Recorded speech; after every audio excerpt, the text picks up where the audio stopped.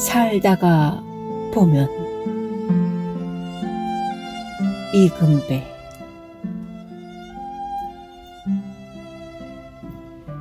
살다가 보면 넘어지지 않을 곳에서 넘어질 때가 있다.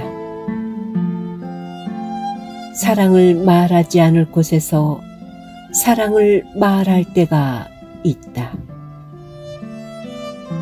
눈물을 보이지 않을 곳에서 눈물을 보일 때가 있다.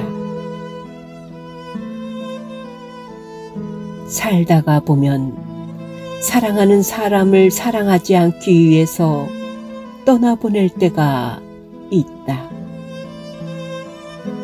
떠나보내지 않을 것을 떠나보내고 어둠 속에 갇혀 짐승스러운 시간을 살 때가 있다. 살다가 보면